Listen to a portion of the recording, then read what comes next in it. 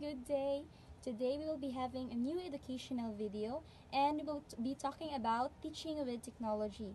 So this video will help you know what is the importance or what is the use of technology in teaching. So just keep on watching. Teaching with technology. Teaching with technology is a broad topic that includes the use of media tools integrated within learning management system and or those run more independently over the internet. It also involves the differing media types which is the social or dyadic and function which is the synchronous or asynchronous. In light of these multiple possibilities, the most consistent tip that arises in research pertaining to teaching with technology is that we choose particular technologies based on their compatibilities with the teaching and learning objectives associated with our courses and or their individual units. So why we use technology in teaching? First is to enhance relationships between teachers and students. In establishing a positive relationship with teachers, it can help a student to feel more comfortable and safe in their classroom environments, and as a result, students are more likely to participate actively in class and challenge themselves academically. Next is to effectively integrate technology into subject areas. Effective integration of technology is achieved when students are able to select technology tools to help them obtain information in a timely manner, analyze and synthesize the information, and present it professionally. The last one is helps make teaching and learning more meaningful and fun. So teachers use activities that make learning engaging and fun. Students are more willing to participate and take risks. Having fun while learning also helps students retain information better because the process is enjoyable and memorable. Let's move on to the next slide. Why we need technology. Technology ushers in fundamental structural changes that can be significant improvements in productivity and support both teaching and learning. The implementation of technology in schools help close that gap. Technology has the ability to enhance relationship between teachers and students. Technology help make teaching and learning more meaningful and fun. Students are also able to collaborate with their own classmates through technological applications. How does this help? First, allow students more control of their own learning. So the world's knowledge is a few clicks away and today, learners can decide how to get in touch with it.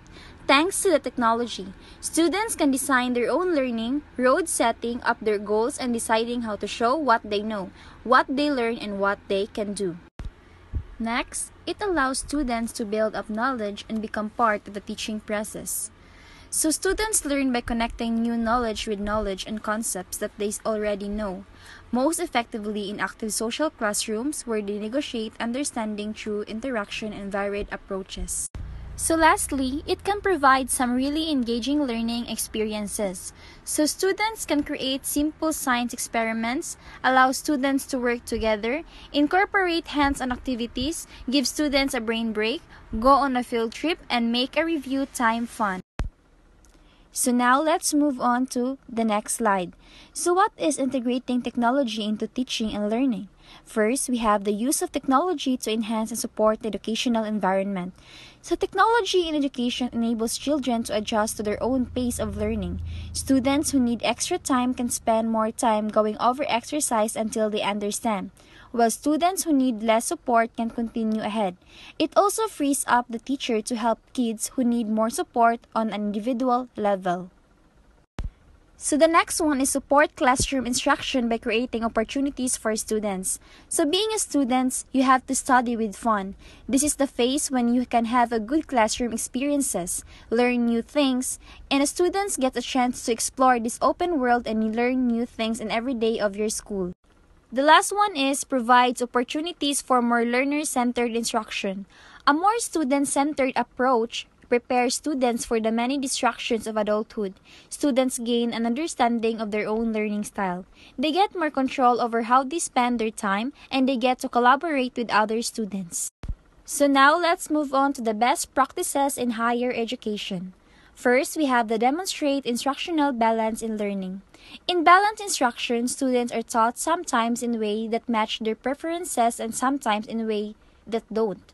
At the same time, they are sometimes taught against their preferences, which helps them build important skills they might never develop if they were only taught as they prefer. Next, involve students in high-density reading and writing instruction.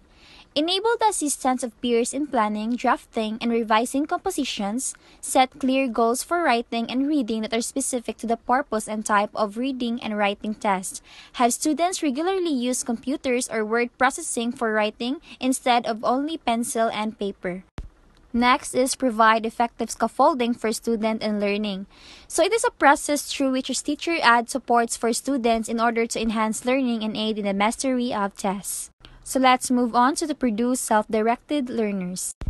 Self-directed learners can generate their own learning, select from their environment appropriate resources needed for learning, and generate with other motivation and goals to promote and develop with others dialogue for learning, and interrelate learning from various contexts of their learning landscapes. And lastly, we have the maintain effective classroom management. Effective classroom management requires awareness, patience, and good timing, boundaries, and instinct. There's nothing easy about shepherding a large group of easily distractible young people with different skills and temperaments along a meaningful learning journey. So the next slide is technology infuses. Technology infuses is a digital learning tools such as computers and handheld devices expand course offerings, experiences, and learning materials. So this is the process of strategically binding technical needs and potential solutions. So now we have the next slide, which is the blended learning. So blended learning is an approach to education that combines online educational materials and opportunities for interaction online with traditional place-based classroom methods.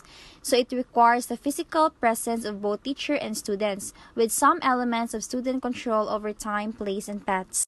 We have here first incorporate both face-to-face and online learning opportunities and second is often utilized to accommodate students' diverse learning styles and to enable them to work before or after school in ways that are not possible with full-time conventional classroom instruction.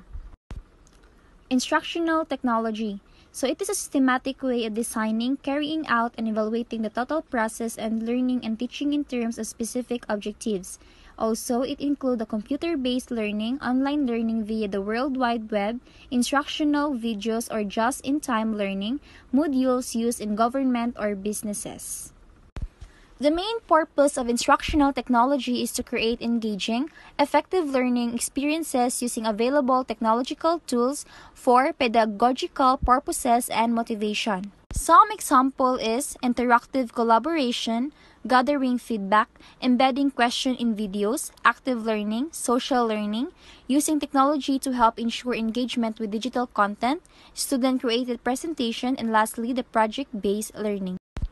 So now let's move on to the next slide, which is the PowerPoint presentation. So PowerPoint presentation is uh, app gives you access to the familiar tool you already know. Quickly create, edit, view, present, or share presentation quickly and easy. So what I'm doing now or what I'm presenting now is a PowerPoint presentation. So in my slide, we have three tips that you must follow.